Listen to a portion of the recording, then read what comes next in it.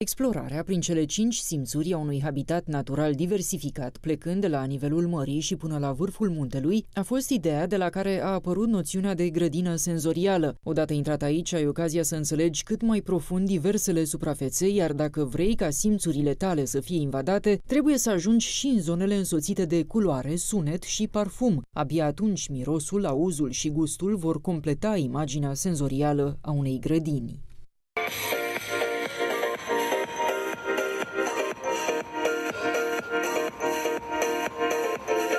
Această grădină senzorială copiii uh, reușesc să, fac, să participe la terapie, dar într-un mod natural lor. Practic recreăm spațiul uh, de joacă natural al lor și ne ocupăm de partea terapeutică. Împletim terapia cu joaca, ceea ce pentru ei este extraordinar.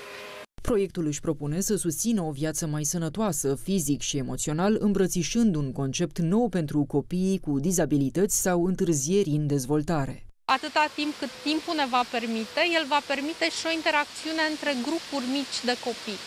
Ceea ce în momentul ăsta în sălile de terapie este mai greu, terapia se desfășoară individual și atunci spațiul vine ca o completare foarte frumoasă de interacțiune și socializare pentru copii și părinți.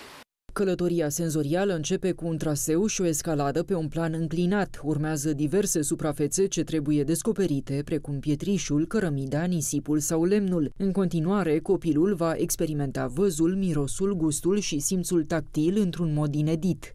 Aici avem o placă, așa cum o vedeți, unde îi pot pune mânuța să vadă cum e, dacă e rece, dacă e tare, dacă e zbunțuros sau dacă este bine, care stimulează atât vizual cât și tactil.